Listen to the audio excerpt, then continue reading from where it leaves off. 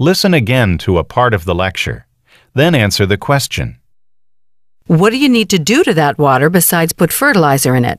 Anyone ever actually tried to grow plants in water? You must bubble water through it. Bubble gas through it. I'm sorry, you must bubble gas through it. So, gas, you have to bubble through. Why did the professor say this? I'm sorry, you must bubble gas through it.